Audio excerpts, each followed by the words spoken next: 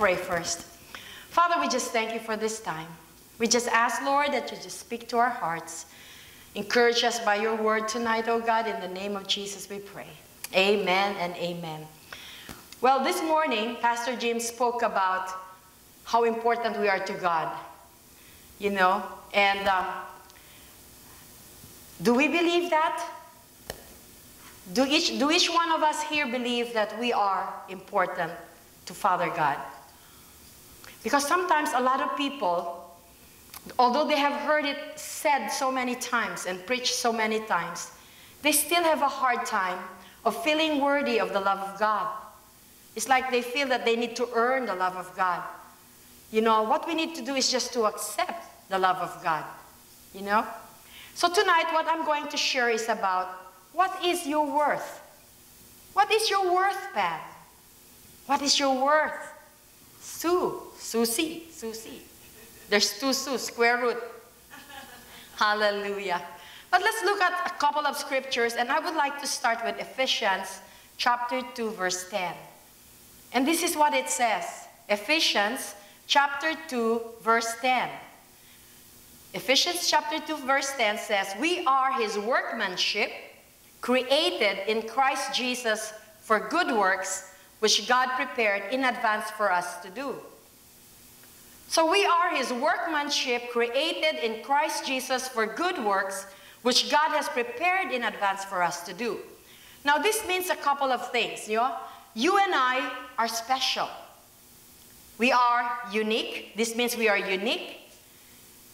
This means also that we are remarkable. Can you look at the person beside you and say, remarkable? Remarkable, yes. You are a remarkable creation of God. We might not feel remarkable at times. We don't look, we, in our own eyes, we don't look remarkable, but we are remarkable creation of God. We are valuable. Remember what Pastor said this morning that when God created everything, first, second, third, fourth, fifth day, and God said, it was good, it is good, right?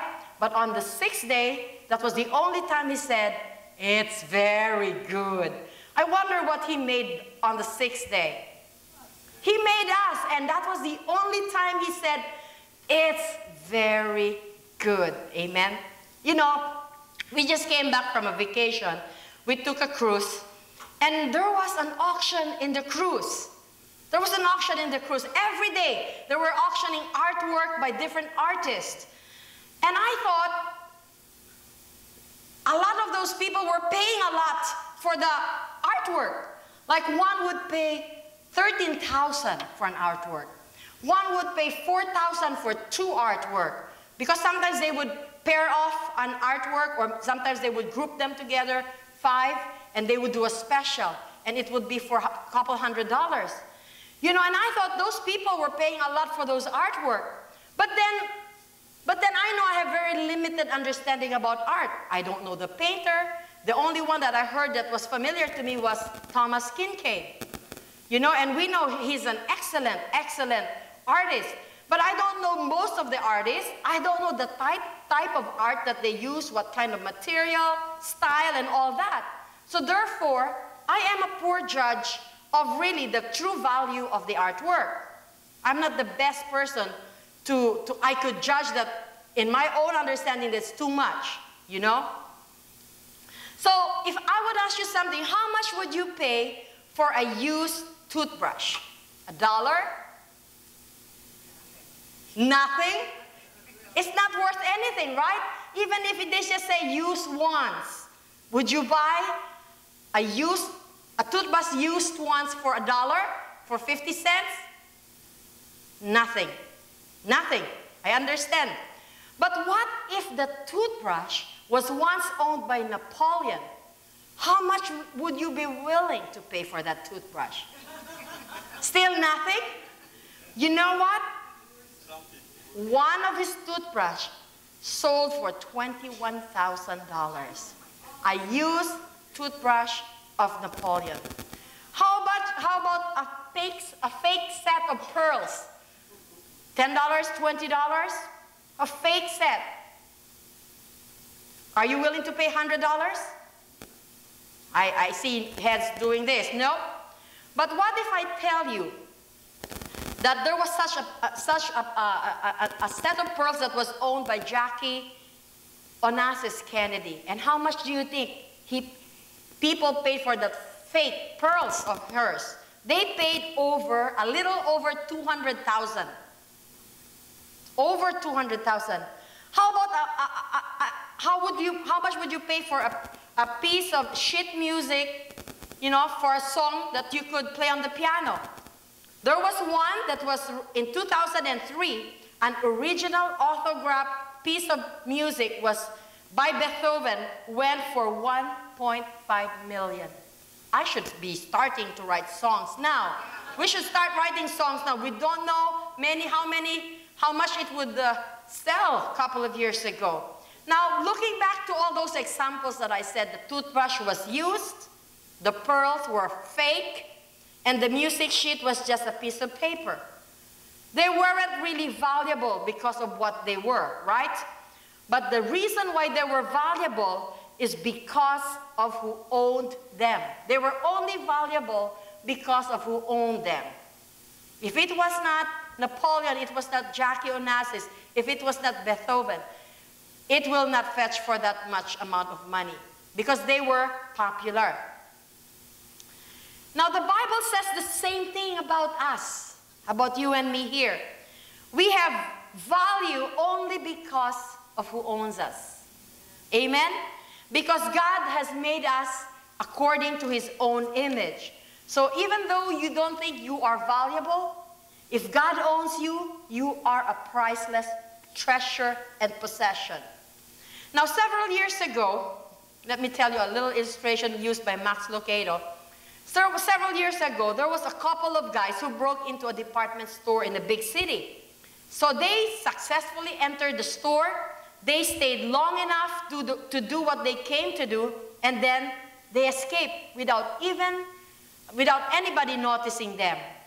Now, what is unusual about the story is that these guys, what, what these guys did, they took nothing.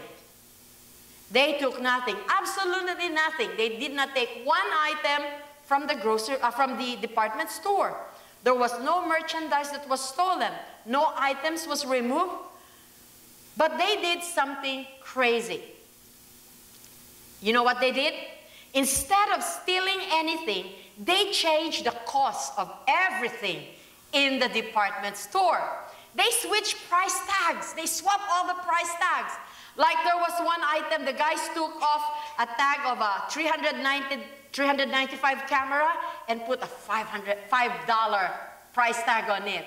And then they took a $5.95 sticker off a paperback book and put it on an outboard motor.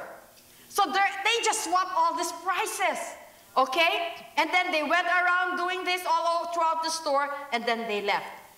Now, the following day, the store opened, all the employees showed up, and of course, customers starts to come. For four hours, people were crazily buying things, you know, like for a deal or either either is hilariously cheap or too expensive. So it took the management four hours to notice what happened.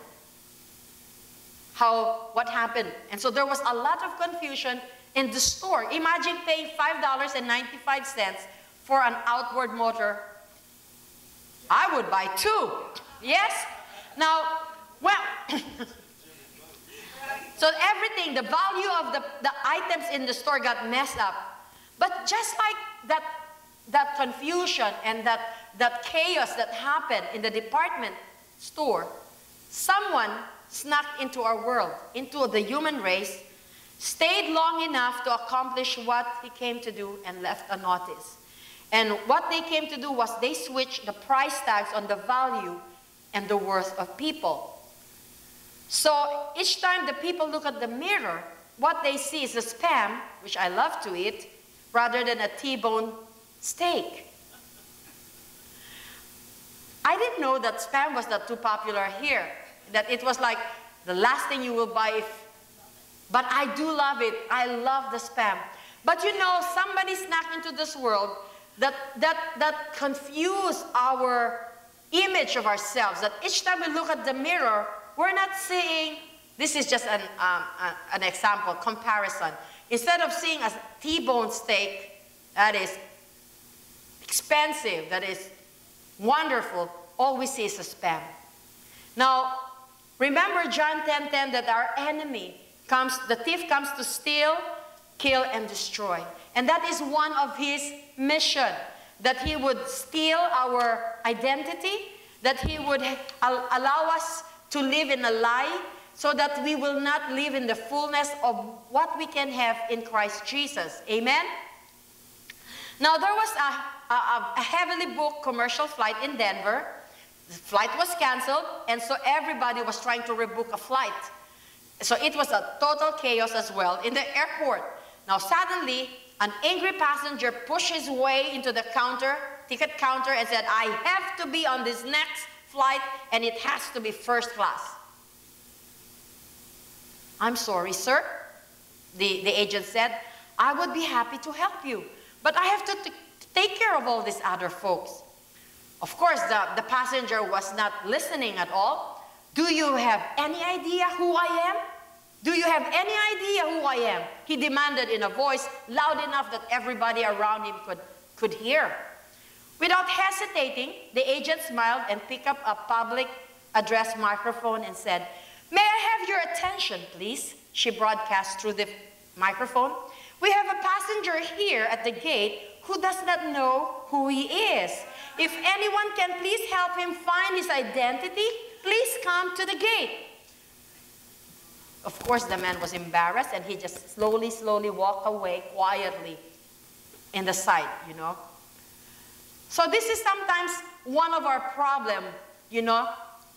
Some people think too highly of themselves.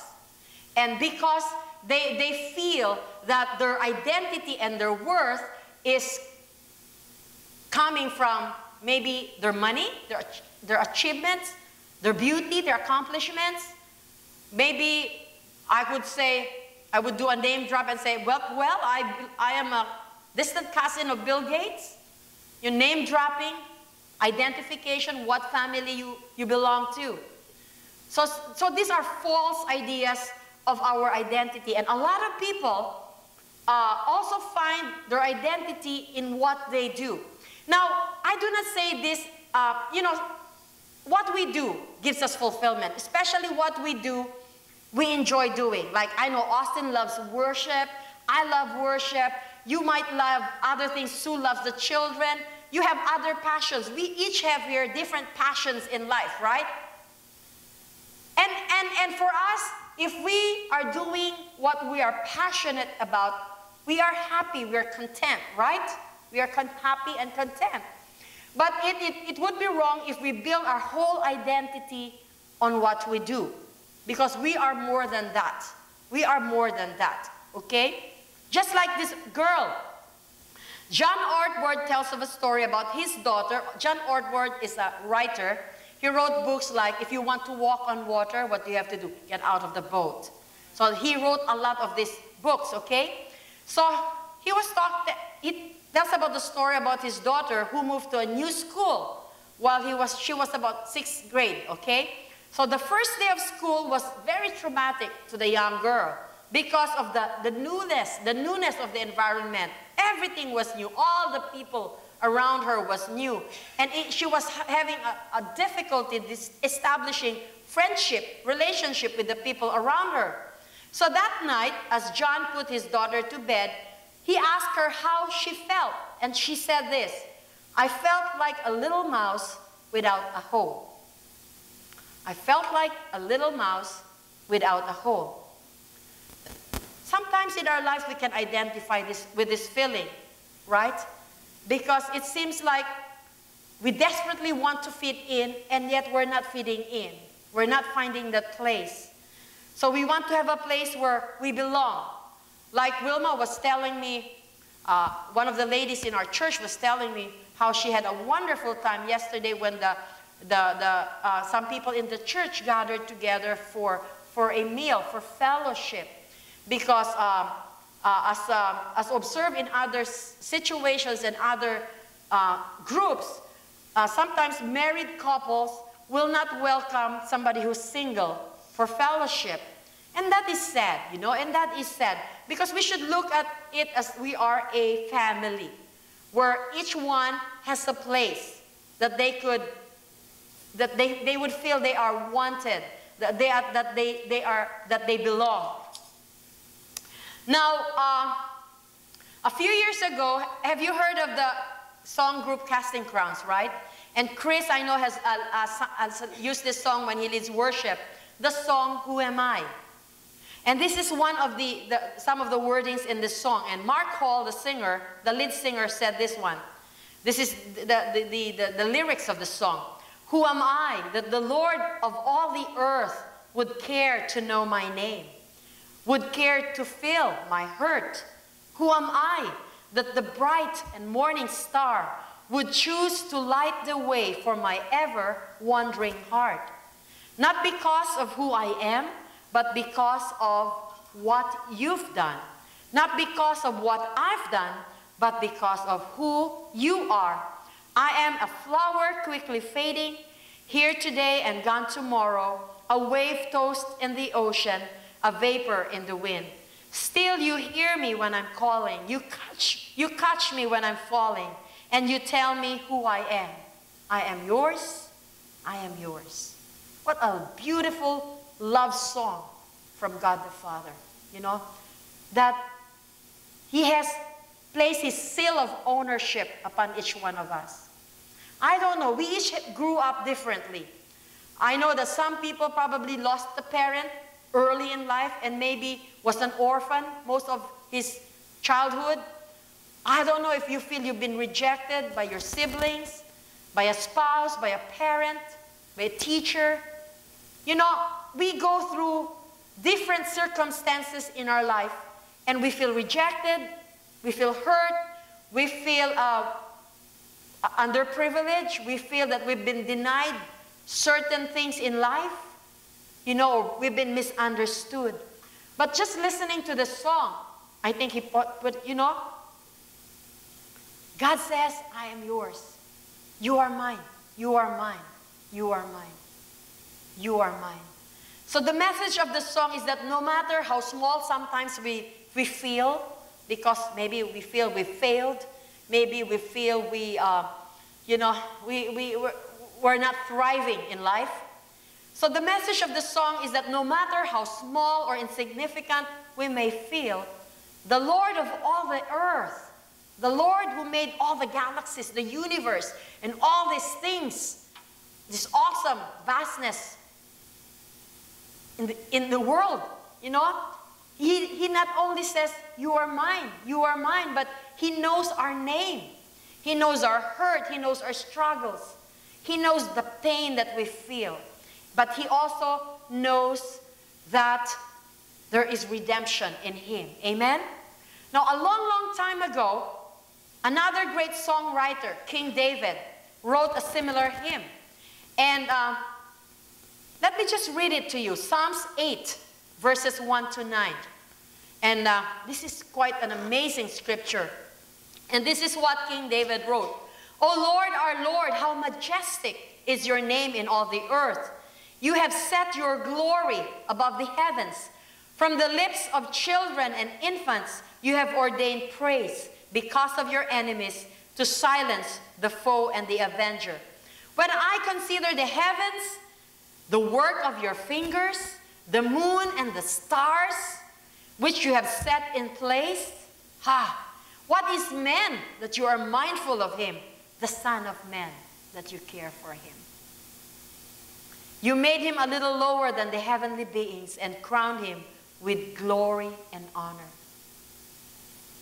Remember, when God created everything in this earth, he said, they are good. But when he created you, he said, Ha, this is very good. This is very good. Now, have you ever been told what you were worth? I know growing up, i have heard it so many times from so many people that they grew up hearing phrases like, you ain't worth a dime, or you ain't worth nothing, or you won't amount to anything, or something similar to that, you know? Now, I looked this up. There is a phrase that says, sticks and stones will break my bones, but words will never harm me. Do you think that's true? Sticks and stones will break my bones, but words will never harm me. Now, once we say something, it's, we cannot recapture it. Once we release it, maybe in a moment of anger, in a moment of frustration, you know, we cannot recapture those words anymore. But we know that words, this, this phrase here, this, this is not quite true. You know, although it's very popular because words can hurt the soul. Now, Proverbs 12, 18. What does Proverbs 12, 18 says? Reckless words pierce like a sword, but the tongue of the wise brings healing. You know, words can cut like a knife through our soul and leave a scar for a lifetime. When those words come from people like people that we love, people that we respect, that people that should, are supposed to take care of us and build us up. So people are supposed to watch out for us, you know. Parents, siblings, you know, spouses and others that are close to us. Now, those words can be extremely da damaging and it can cause a lifetime of pain, a lifetime of pain and brokenness in relationship. Now, the enemy would like for us to dwell on those hurts and pains the enemy would like for us to be bound by our past, by all our, our past disappointments and hurts. The enemy wants us to be stuck where we are.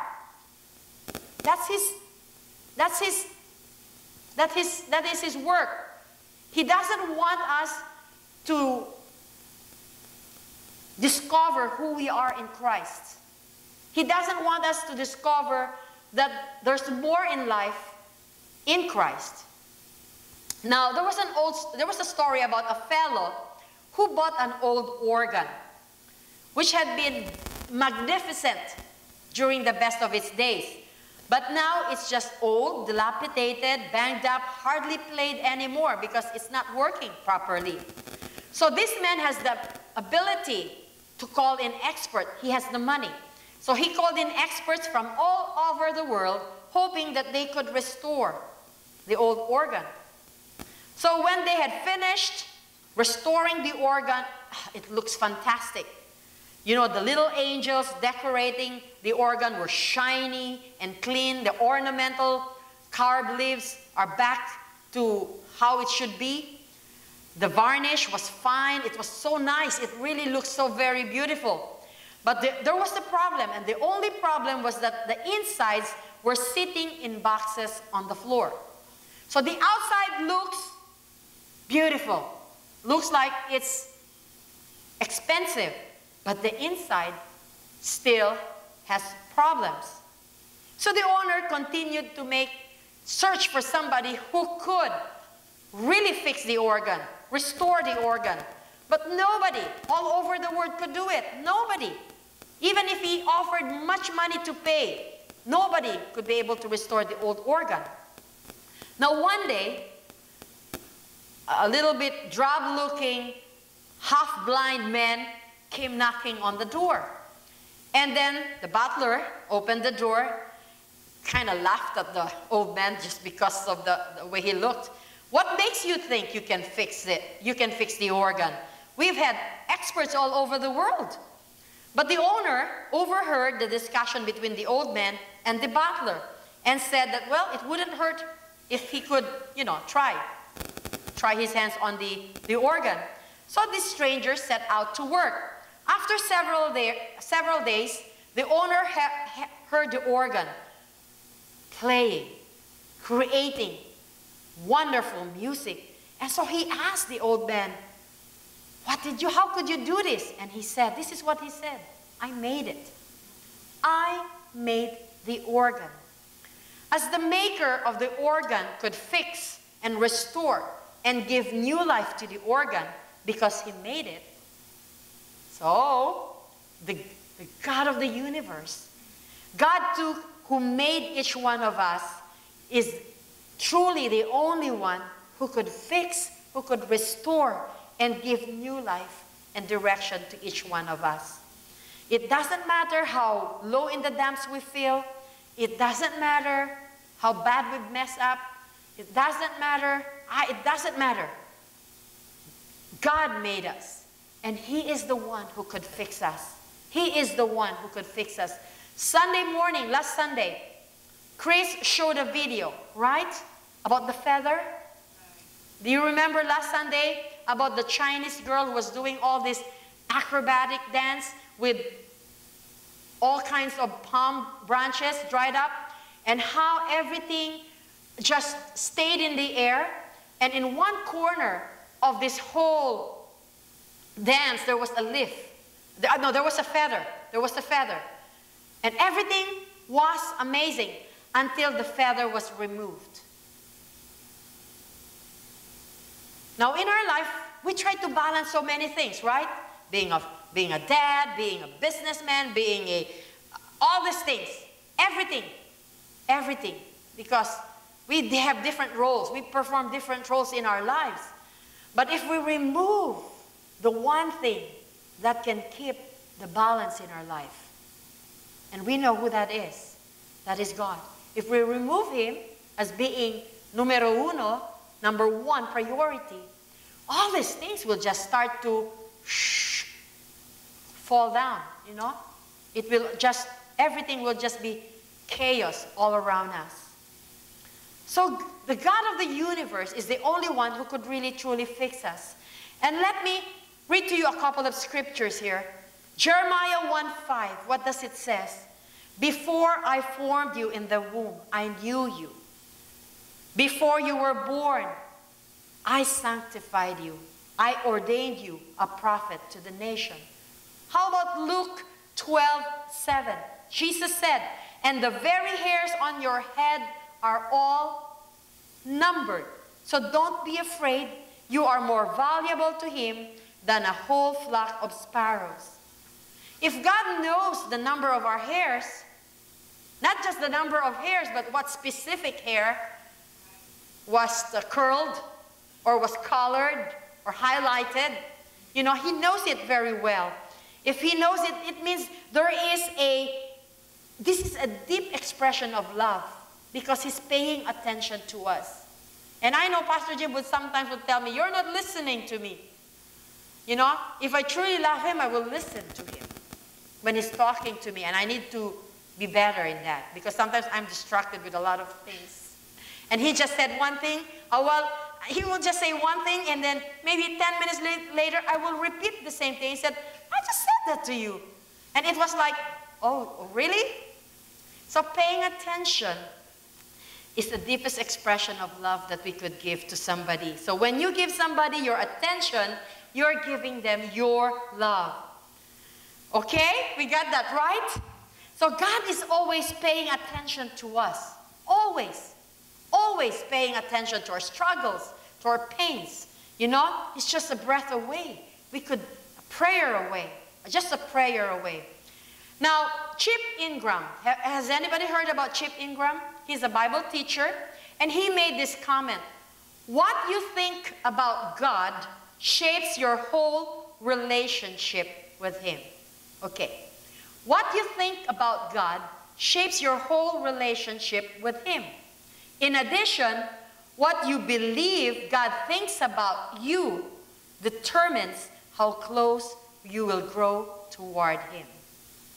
If we keep reading the Word of God and we keep reading, reading the Word of God, where it's sometimes it's a like like the other Sunday, you know, where when Margaret shared about um, the Song of Solomon, you know, or other parts of Scripture when the Word of God would tell us how much the Lord loves us, how much God the Father loves us, how much He, he cares for us, how, how important we are, that He dances over us with singing he, singing, He rejoices over us.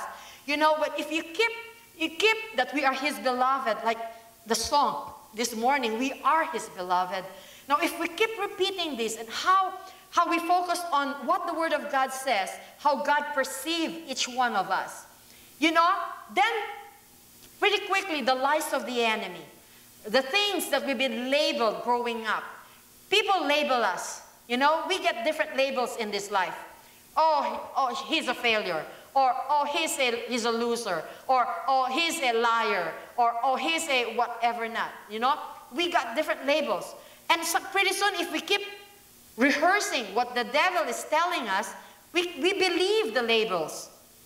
We believe these labels. We believe that we're a failure, that we, we, we're, we're not valuable, that we are unimportant, and all these things.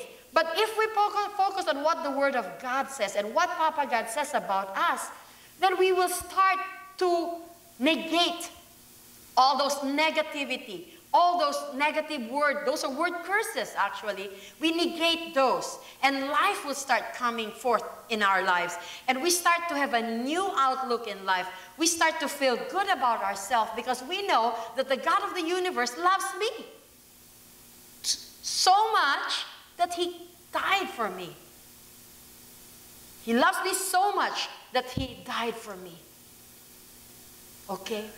Now, just like the grade, the grade school teacher who noticed that one of his little pupil in her school was having a hard time reading the blackboard, just straining her eyes. She knew that the girl's family was very poor. So what did the teacher do? She took it upon herself to have the girl's eye examined. And sure enough, this girl needed glasses. And so the, the teacher, yes, said, go ahead, make the glasses. And she paid for the glasses. So the following week, the teacher was excited, came to the student and gave the student her new glasses. The girl looked at the glasses, but refused to take them. And she said that they're so poor that they could not afford to pay for the glasses. The teacher gave the glasses to her anyway and said, You don't have to pay for them. I already did. The same way that Jesus already paid it all. We see an empty cross, but that cross is costly because he died. He chose to die, to die for, for all, our, of, all of our sins, all of our failures, all of our limitations, all, everything all of these things. He, he died that we may have life. Amen? We may have life. So that way, all our, our debts are canceled, and God is giving us a new slate. New slate. You know, there are many different, uh, well, uh, I have learned about many different approaches that people use uh, for, to pray, uh, to address, like, for example, healing of the soul, healing of the emotion. There are many different ways that people address it, or techniques, maybe that's the right way, techniques or methodology of how to address, you know, a wounded soul, a wounded heart. You know, the only thing that we need to do is deal with sin immediately in our lives. Turn around from sin, ask, repent of it, and then that is a clean slate right there.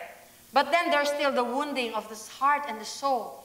And Pastor and I were talking about this in the ship that you know, really the greatest antidote, the greatest thing for us, you know, to be healed in our emotion is just to fall in love with Jesus, to get as close as we can to Papa God, to Jesus, fall in love with Him, develop that relationship, because we know that He would always breathe life into us. He would always speak life to us. So, you know, and as soon as, uh, as soon as we fall in love more and more with Him, and then we know that He paid the price already, you know, those wounded, those souls that are wounded, the emotions that are, that are wounded, the healing balm of Gilead will start to flow in. You know, it's just a wonderful feeling to know that you are loved, right? Do we agree? It's just a wonderful feeling that you are loved. And how much more if we could just fix our eyes on the love of God the Father. Fix our eyes on the love of God the Father. Now, if you feel insignificant or small, remember that you matter to God. Remember what he said, the song? You are mine. You are mine. Or we can say, I'm yours, Lord. I am yours. I belong to you. So the, the, the, the Lord of all the earth knows your name, knows the, th- the pains and the hurts that you're going through, and the bright and morning star wants to light the way for your ever wandering heart. So our worth as a person does not come first on our work, our looks, our intelligence, our ministry, our relationships, our connections, our family name, our accomplishment, or what else. Yo, it first comes if we belong to the Lord Jesus Christ. So I think the most important thing for our life is to guard that relationship with, with Him, with Jesus, and to grow in that relationship. And I know that many times in our lives, we have allowed other things to creep in to pull us away from Him. But it's time to get to go into the love chamber once again, you know, and allow God to just minister His love to us. In the same way we minister to Him in love. So remember, the ultimate measure of love is John 3:16. John 3:16. For God so loved the world that he gave his only begotten son, that whosoever believes in him shall not perish but have everlasting life. So, if the devil starts telling lies on, on you that you are not important, that you have no value, you hush that voice immediately. Amen? Let's remember scriptures. Let's quote scriptures. And this is the only way we can silence the lies of the enemy. So, can we turn to, to one another and say, You are worth more than gold? You are worth more than gold. You are worth more than gold. Amen?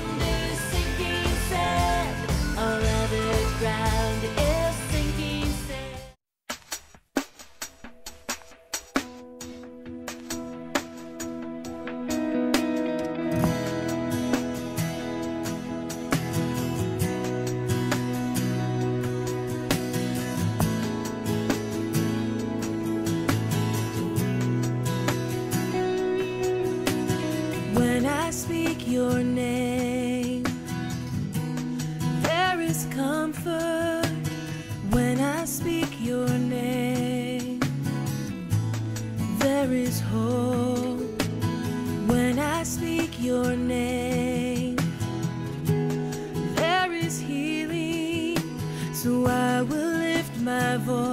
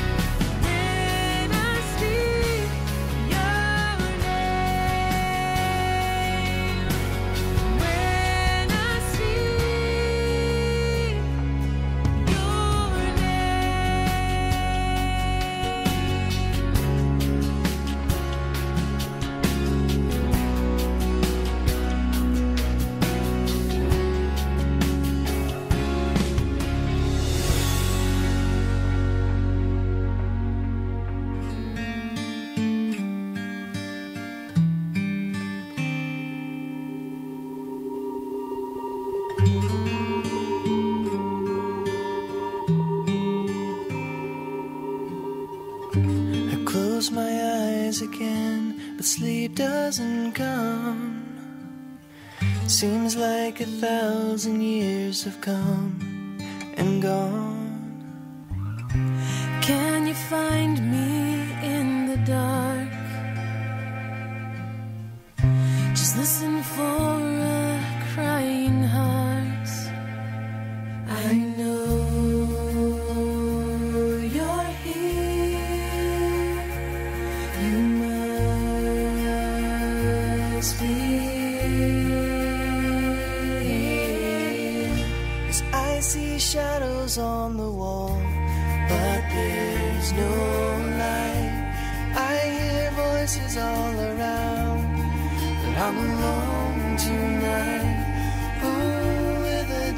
mistletoe